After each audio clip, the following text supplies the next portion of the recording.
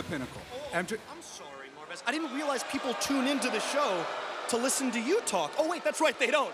They don't. They tune in to see me. Thanks, Pig Vomit. Hey, everybody.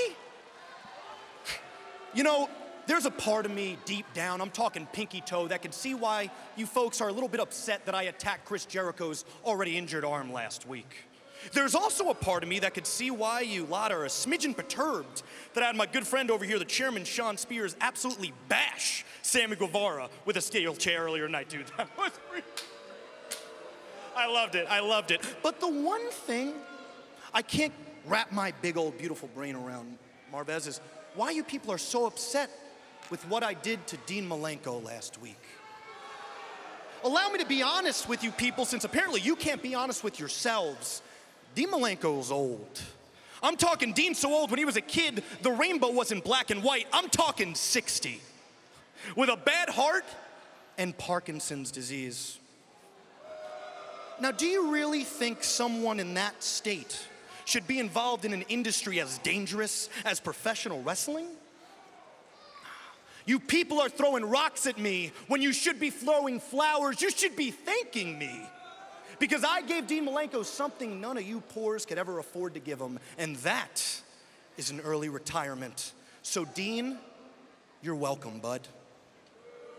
Whoa, whoa, whoa! Oh, look out. Here we go. Jericho and Jake Hager. The peace and serenity didn't last long here. Yeah, do, do you blame them for what he did a week ago? Absolutely not. And Jericho and Hager, they're they're outnumbered here with Sammy Guevara. Oh! Sammy Guevara, Santana, and Ortiz already taken out by the Pinnacle earlier tonight. Whatever's not nailed down, Jericho's using it as a weapon.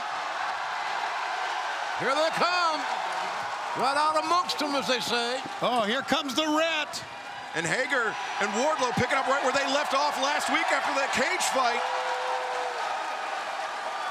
Chris Jericho going right at MJF. Just when you think that this issue between these two factions couldn't get any more intense, we see things like this, seemingly on a weekly basis. Something's got to give. Uh, he was begging off until he saw his back was turned, and then he goes, there you go. Jericho's going to hockey fight him. Stanley Cup season. Absolutely.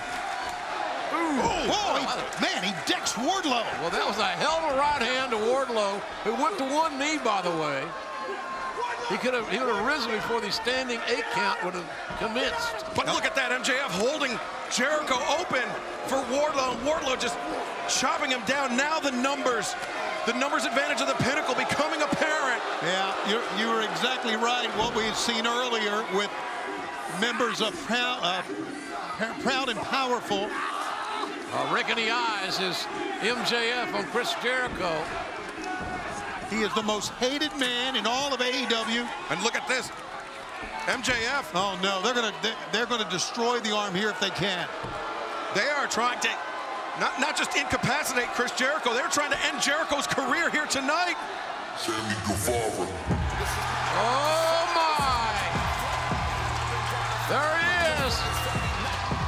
Swinging a miss by Wardlow. Guevara with a big shot.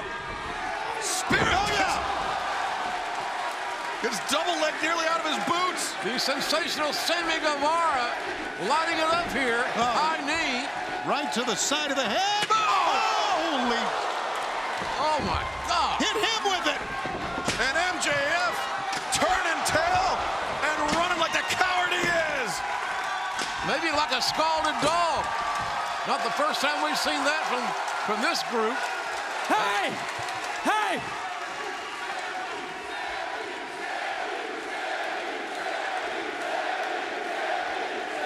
was the wrong guy. Hey, asshole! You know, hey, on Wednesday, this company finds out what I already know that they chose the wrong guy. They chose the wrong guy for the action figures. They chose the wrong guy to put on every single poster. Max, you love to call yourself, you love to say you're better than you, and you know it, right? That's what you like to say? Hey, hey, hey! Well, guess what, bitch? On Wednesday, I show I am the best ever and you know it. Wow, what a match that's going to be this Wednesday night. It'll be live. It'll be right here in Daily's Place.